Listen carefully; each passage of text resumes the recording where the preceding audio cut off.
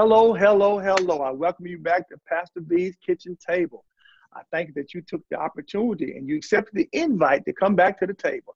I pray you've already contacted your mom and them and your dad and them and all the NIMs in your circle that this is the table. This is where we break it down and put it back together again for the glory of God. And I am glad to have a guest above all guests today.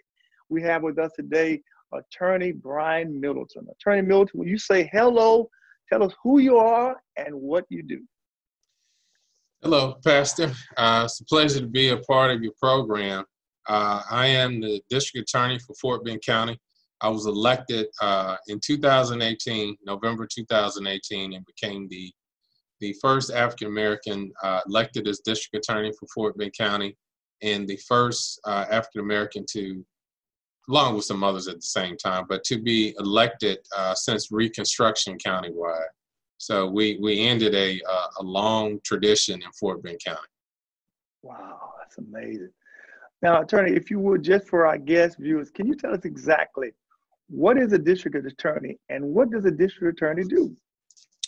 Yes, uh, what the district attorney uh, does is I'm responsible, my office is responsible for the prosecution of all criminal charges in Fort Bend County.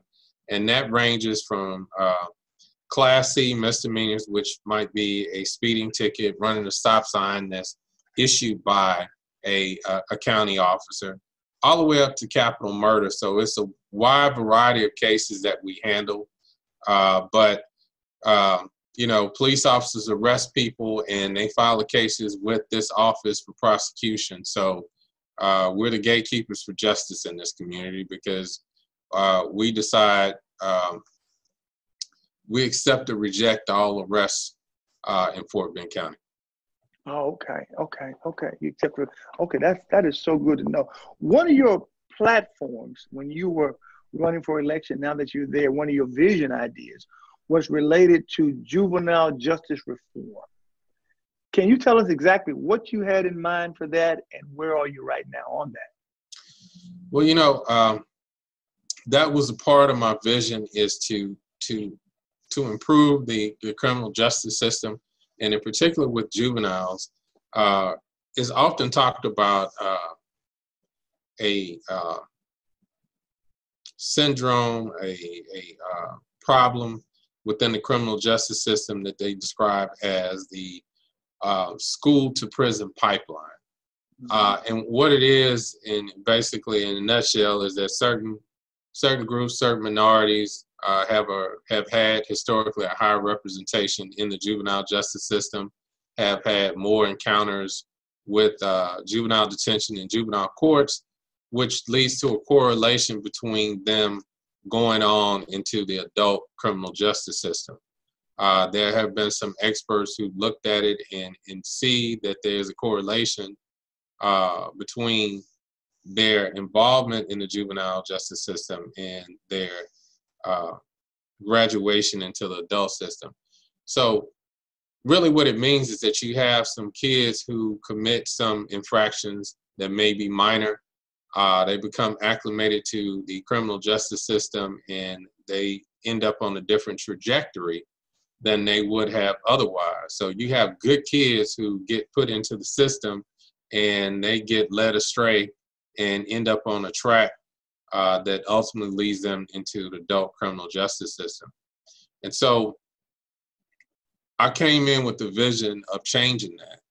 Uh, there are a lot of things that the school district should be handling on administrative level. So we came in and made some policies, policy changes to ensure that some of these low level offenses are not being criminalized and are being handled, uh, would be handled and have been handled now uh, by the school districts. Uh, a lot of the things that I would have gone to the principal's office for when I was growing up, now mm-hmm. kids end up in court. So we've come up with a system uh, of, of, informal uh, probation. So in in the juvenile system, that's what we call it. But uh, these kids, uh, first offender program, they they come in and instead of going through the court process, they receive services and we address any issues that they have without putting them through the criminal justice system. Uh, and that is one of the efforts in trying to uh, eliminate the, the school to prison pipeline. Um, also, charging appropriately, um, not overcharging juveniles. What the family code requires us to do and the court system to do is to try to rehabilitate rehabilitate each child that comes into the system. So we're focusing on placements uh, and services and making sure the kids who we have to put through the system are being treated appropriately and getting the services that we that they need.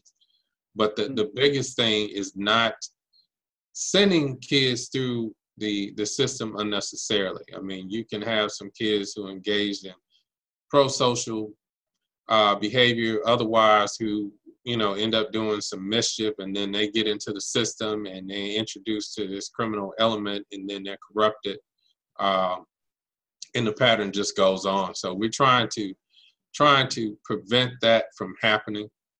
Um, and I'm fortunate to have uh, some very qualified individuals working in the juvenile justice, I mean, juvenile uh, division in my office and uh, have been working real hard. We also have a uh, committee that's comprised of uh, uh, community partners who are helping us navigate through these these changes and, and making suggestions. So we've been very, very active in uh, juvenile justice reform. Hey man, that, that that is so good to hear, attorney, because as you know, in some regards, some may say that you're actually swimming upstream in, in doing that. You're kind of going against the current. And I say that because you remember back in 2010, Michelle Alexander's book, The New Jim Crow. And, right. and her premise in that was about this whole mass incarceration. Right. That one, the one of the reasons why so many are put into the pipeline and many are overcharged is because we really need that prison labor. And so, and so we've got to have the, the, the population there. So it allows to achieve our greater end, which, which of course at the end of it is always some kind of financial incentive. And so what type of receptive receptivity have you received and trying to, to you know, to, to kind of be the antithesis of what existed before you? Yeah, I mean, I, I've received some resistance, but it hadn't stopped me from eh, pursuing these changes. And I think what the community has discovered is that you know the sky didn't fall. You know, everybody was saying if you do this, then yeah. you know uh, crime rate is going to go up. And and what we've seen consistently in this county and across the nation is that these progressive changes actually have positive results. You don't see an increase in incarceration. You see a reduction in recidivism. Uh, we save costs. We save money. You know, um, the United States is an outlier in terms of mass incarceration. We lead the world in mass incarceration.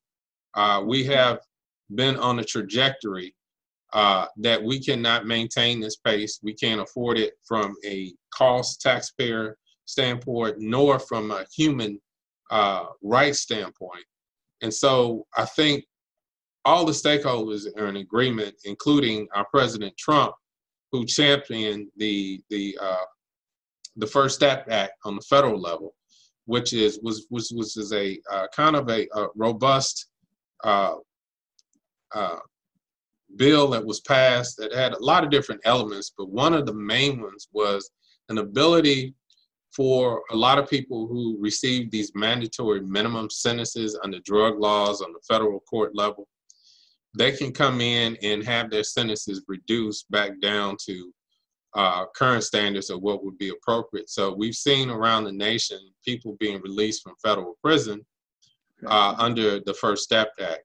Uh, he championed it uh, and was very proud of it when, you know, in, in, in signing that law and advertising the first African American who, the first person who received the benefit of that was an African American and he made a big deal out of it.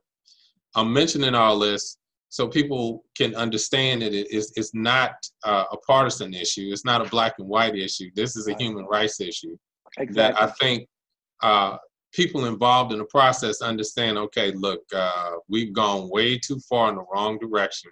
And it's time to reevaluate, reevaluate, recalculate, and, and start doing things uh, differently. Because you know, I'm a big proponent that when we know better, we should do better. Right. And so I think collectively, uh, the nation and the the leaders in criminal justice have identified this and uh, have been making, probably not as quickly as we would like, but have been making progressive changes. Uh, another important thing is that Texas leads the nation in criminal justice reform. I attend seminars across the nation, and is widely recognized that Texas has led the nation. Uh, in criminal in implementing criminal justice reforms.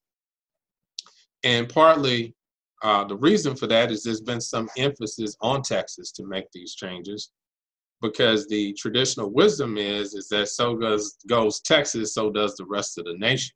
Mm-hmm. And so there was a, a Texas was targeted uh, and it's been successful. And we are a leader in the nation, and and we see other states following, you know, our lead and implementing these different changes. So I, I think we're really fortunate. Now, nothing's perfect. We're not a perfect system, uh, but the the the will is there now, yeah. and that has intensified since the George Floyd incident, and we've seen greater, more intense discussion and, and, and more buy-in uh, from what I would call the opposition or, or resistance. So I think we have a lot of momentum, and I think we're we're we're forging ahead towards greater reform, meaningful change. Attorney, tell me now about bail reform because we want to know how do we get our cousins and uncles and nephews and nieces out of jail. Tell me, tell me what's going on with that. Okay, uh, there was an uh, the what we call the O'Donnell decision that was uh, result of litigation in Harris County. Harris County courts were sued because of uh, disparities in their in their bail system, uh, and the county lost, and it was appealed to the Court of Appeals, which is the Fifth Circuit Court of Appeals. Fifth Circuit Court of Appeals issued a order declaring uh, their system unconstitutional and made recommendations on the changes that need to be made. Uh, the changes were in the nature of the cash bail system. Uh, typically in the criminal justice system, we've had bond schedules and, you know, if you charge with X, then this is what your bond should be. That's one of the things that the Fifth Circuit declared was unconstitutional, is that you have to look at these cases on an individual basis. Uh, and another part of the suit was that the, the you cannot use cash uh, to to hold people in jail uh, hmm. pending trial. Uh, determination has to be on what the Constitution and the in the in the um, Texas law requires, which is you have to look at future dangerousness. You have to look uh, whether or not they are flight risk. So those are the considerations that should be made. Uh, you also have to take into account the ability to to uh, to afford posting a bond because bond, according to the United States Constitution, cannot be used as a punishment. So, uh, you know, all this is based on uh, the premise in our Constitution that people are presumed innocent. So, when people pre-trial are charged with a crime, uh, what's required by the O'Donnell system is that you have a system that considers their future dangerousness, their flight risk, uh, and their ability to post a bond in that consideration. And so it has effectively outlawed um, outlawed uh, bond schedules and requires the courts to make individual termination uh, and use uh, personal recognizance bonds. So people who cannot afford bail uh, mm-hmm. have an opportunity to get out of jail. Now, uh, when I, I, talk to people who are opposed to it, they think it's, it's unfair, but I can tell you, usually the worst criminals have a lot of money.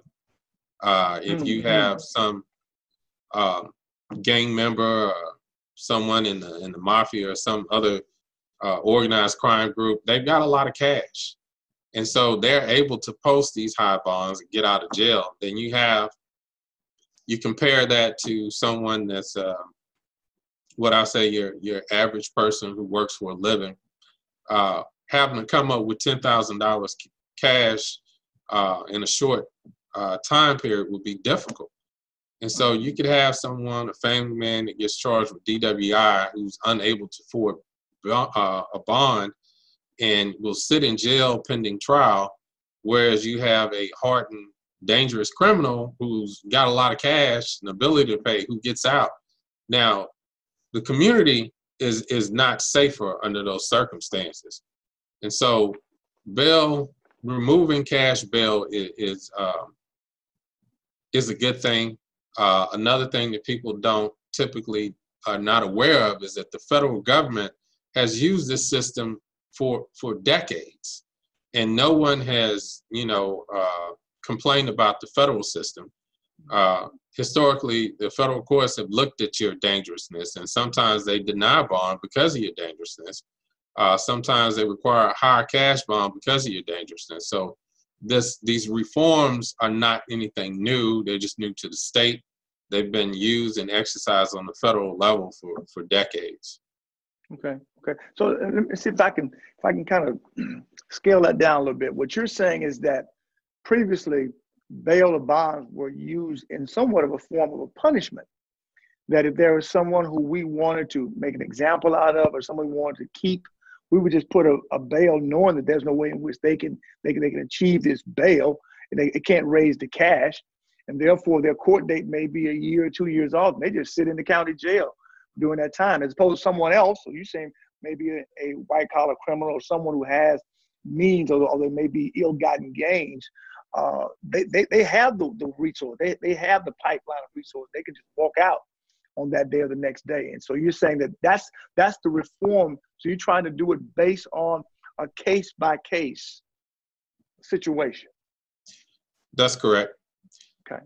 The only nuance that I would say, and this is what I, have been trying to educate the people in Fort Bend County, is that um, I agree with these principles, but these are not just my ideas. This is required by law. The Fifth Circuit is over all these courts in, in within that region, which includes Texas. So we're bound by that decision. We're bound by what the Fifth Circuit determined in the O'Donnell case. So this is not optional for us. We have to comply with the United States Constitution by that order.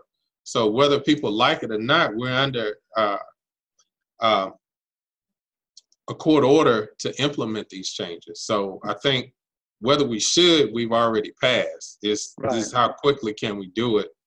Uh, is really the question now. So why was it able to skirt under the radar for so long? If you're saying that this has already been legislated, this is a law, then why is that now it's, it's communicated as a reform, but it's really just the execution of what's already been mandated? So why did it skirt for so long? Well, you know, traditional wisdom or traditional uh, thought process was that people who are charged with crimes ought to stay in jail. You know, it's just like, oh, you got arrested for for uh, a serious crime, you should stay in jail while you wait in trial. Well, that's kind of well, it's not kind of, it is counter our our tenets. It's counter uh, all our values, you know, American values in, in, in the Constitution that we're presumed innocent. Uh, it's, it's against our, our, our, values because it's, it's the dehumanization. Mm-hmm. Uh, people are presumed innocent. And just because people are arrested, they don't lose their humanity and they certainly don't lose their constitutional rights. And so we and, and, and it's, it's, it's, a part of that structural racism that the, the new Jim Crow is talking about. Right. Is that we've had to peel back those layers to get to it, and we've had to have these court challenges to address it. Because unfortunately, I think a lot of people, even minorities, have been kind of sort of uh, uh, ill-advised in, in, in, in, in supporting these different types of concepts uh, because, you know, it's just traditional wisdom but we know better now and i think that's part of the change is that there's been a progressive movement uh, to make sure that that we uphold uh, our tenets and uh, our beliefs and our values because for a long time we've had double standards and that's what uh, we see and we call racism because there's yeah. always been one set of rules for one group and a different set of rules yeah, for yeah, right. another group so it, it's a reckoning. You know, our nation is growing up. Uh, I think there has been an awakening over the last couple of decades, and certainly in the last couple of months, that we are not holding true to our values. You know, yeah.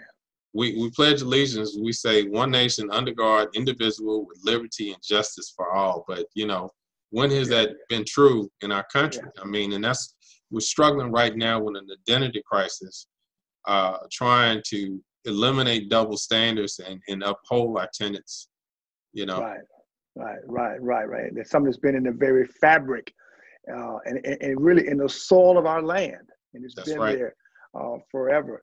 Uh, one of the things that, that you talked about George Floyd earlier, and you talked about, you know, the, the actual systemic racism. And one thing that came out of all that, we heard about something called defunding the police.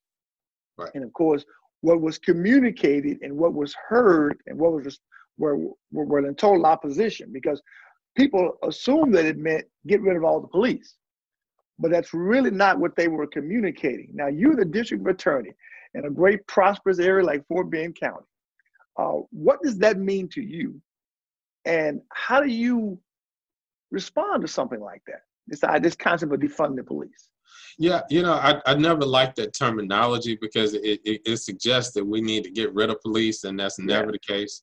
Um, you know, we need police. We need a criminal justice system to maintain civility.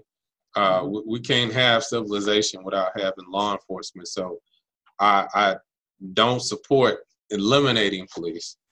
So I think what's being trying to be communicated uh, with people who support the defunding of police is the reappropriation of certain funds. Yeah, yeah. Now, when we talk about Fort Bend County, I can tell you, even my department, we're underfunded. Uh, we have a lot of small police departments in Fort Bend County. Our largest one is the sheriff's department, and and we've been operating with with shortages for years. So we don't have a lot of excess to, to cut. Right. Uh, I think for defunding the police, in, in my opinion, it should be uh, redesignating the role of police. I mean, particularly like with uh, mental health. Like we have a uh, crisis intervention team, a CIT team, which was very progressive uh, in in its uh, its intent, its purpose, and how it's been carried out. Because these officers are in this division are particularly uh, trained on how to deal with the mentally ill. So uh, regular patrol officers out on the scene responding to a call for service and, and recognizes there's mental illness involved. They can call this CIT unit to come out and address the situation, and it prevents these persons from unnecessarily being put into the criminal justice system when the real problem is mental illness. And so when we talk about defunding the police, I would like to see an increase in funding in these type of programs to to divert the mentally ill away from the criminal justice system. Also, would like to see more funds used to create community policing.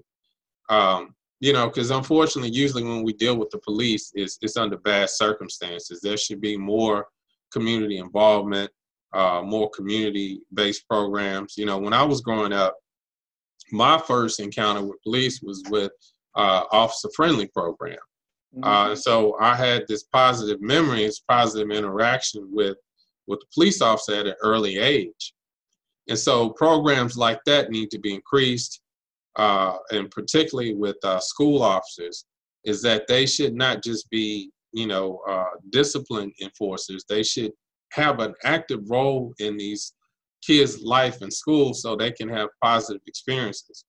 Because I think a lot of what we see right now is the the mistrust or the distrust between the minority communities and law enforcement because of the history in this country. And so if we can reestablish some trust, because there are issues on both sides, and if we can get back to discussion and try to reestablish trust in both the communities, then I think we can eliminate some of the systemic problems that we see. But that's going to require uh, a lot of reform. It's going to have to require a change in mindset. And, and, you know, why I'm talking about the kids is that, you know, recently I had I've been involved with youth and I've discovered some of them have a negative impression about law enforcement, but they've had zero interaction with law enforcement. So right. I'm like, you've never been arrested, you never talked to a police officer, you never been detained, but you don't like police. And I realized that's you know that's because of what they they're reading and what they're seeing going mm-hmm. on. And so I suspect if they had positive interaction with police, then they probably wouldn't feel that way. And I feel like if the police officers, uh,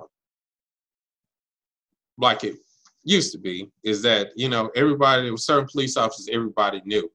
You know, if if, if uh, Smitty, Officer Smitty came by, everybody was like, "Hey, Smitty came by," you know, and talked to us, and he was hanging out with us at the at the basketball court. When something's going wrong, Smitty can go talk to the community and get to the bottom of it. And people will feel comfortable calling uh, an officer like that and in, mm-hmm. in, in, in, seeking assistance. So we got to get back to taking care of each other. Um, you know, what I like to see is police officers take off their guns and their badges and go into the community and talk to people as human beings. Uh, so there is a restored uh, recognition that they're dealing with humans and more humanity involved in the process. So people aren't so afraid and quick to pull a trigger. People are not getting so hostile when they have an interaction with police officers. So, you know, I, I see the solution uh, involving uh, reform on both sides. Okay. What are you asking the church and the community to do to really change this narrative? Because you know, this whole, as you said, this this gap of trust. There's a there's a, there's, there's, there's a genuine distrust. What you were saying earlier about the kid who never had any history with the criminal justice system, and yet I guarantee he's been around a table, and he heard community. Certainly sees on videos and sees on television, but he also has heard some conversations. Right now, perhaps he didn't hear the whole story related to all that happened, but he knows someone that's been in the system. And so, how do you what, what would you desire from the church? What would you desire from the community to kind of start this whole bridge of trust being built? You know what I really think is is is uh is needed from the church is um you know I just got to pause for a second because um after this George Floyd incident um it had a a, a deep impact on me. I feel like uh, I was broken almost. Um, like a whole lot of African Americans, I did a lot of crying, a lot of soul searching, because uh, it was painful to see my image, you know, being murdered like that, uh, and and just the realization that the struggle we hadn't seemed like we hadn't gone too far since yeah, the yeah yeah, uh, yeah. Jim Crow era, and so getting deep in thought, you know, I started realizing that there's nothing in our system, in our laws, or in our or in our values that condones that. And so I realized, hey, look, you know, I've been using the term fake Christians, is that we have not been living up to God's word. We have not been true to our beliefs. And and we don't need new laws. We need people to be authentic. We need people to not tolerate double standards. We need people to to to pray and to and to act in accordance with God's word. So what I like to see the church do is to to to speak to people about double standards and, and living up to God's word and practicing what you preach. Uh, people really need to look in the mirror and, and ask themselves, you know, are my words and actions in agreement? Uh, because I think everyone, including myself, have, have not been uh, fulfilling God's word and have not been consistent. Uh, and we need to make a greater effort in trying to follow the word of God and, in being good people. Uh, because I think, you, you know, what is a good person? You know, if you just follow God's word, I mean, you are the epitome, in my uh, opinion, a good person.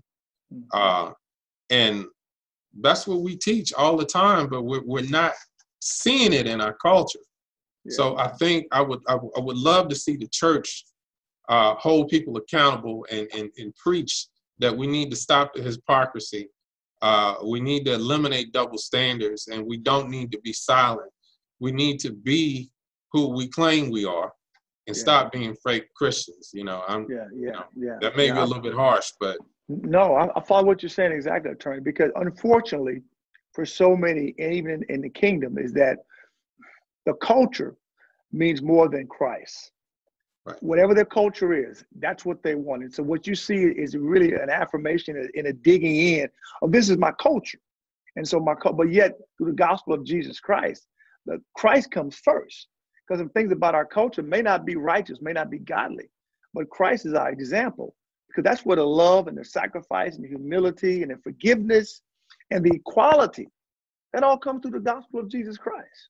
And so if we're willing to put Christ first and not our culture and not even the color of our skin, uh, th- then we're on the road to something. But only, that's why I say the church has the answer. Uh, but we, we've got to carry it out in the midst of being antagonized and in the midst of saying that there are people who say they're Christians, but I like what you said. They're really, they may be cultural Christians, but they're not biblical Christians. That's the difference.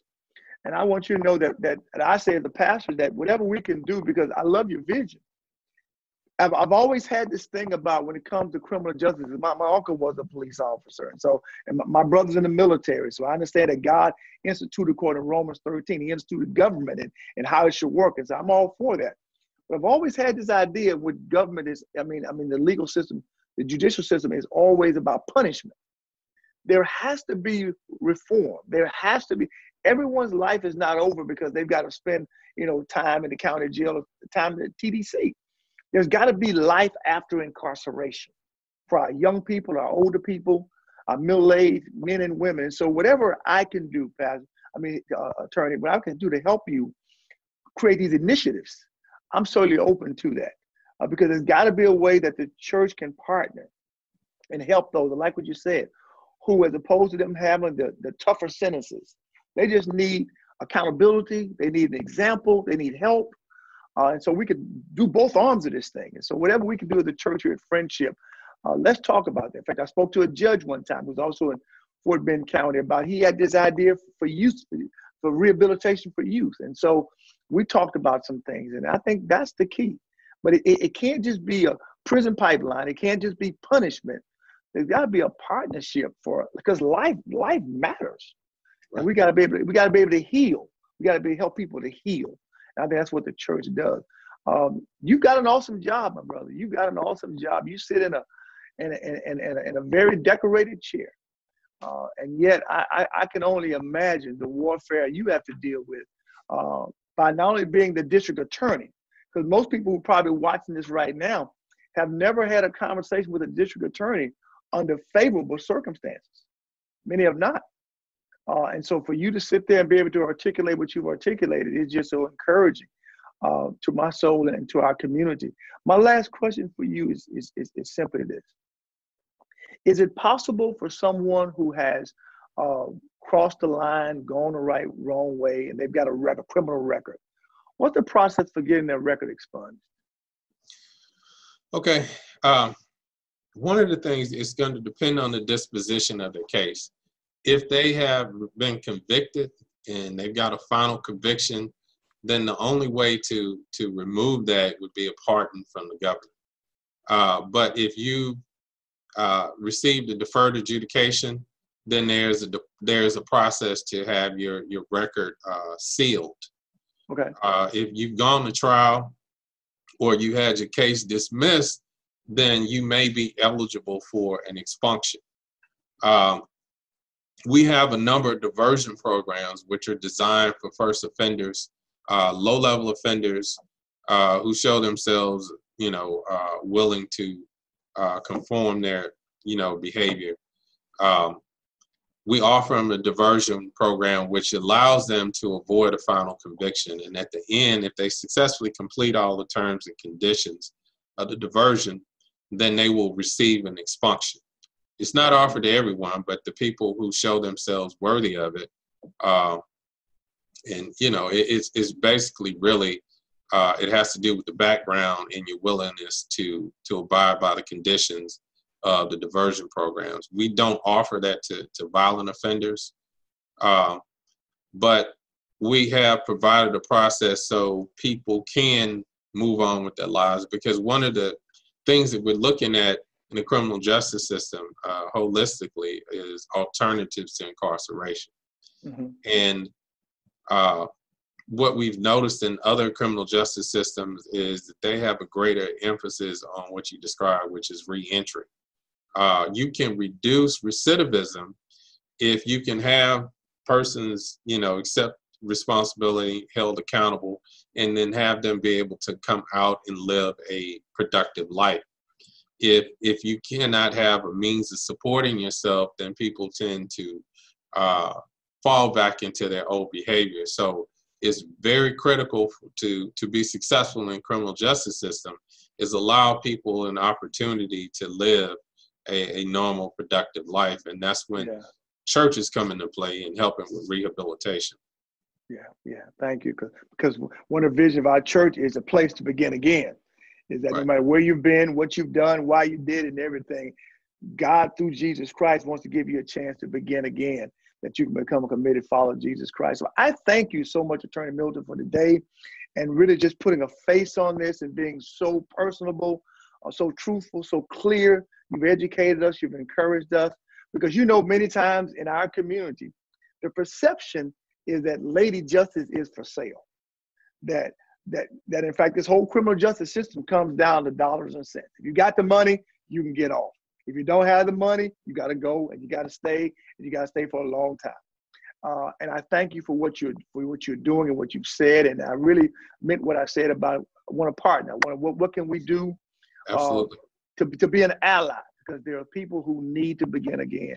I don't care about the color. I don't, I don't care about the economical situation. They need to begin again. So whatever I can do and we can do, we want to do it together.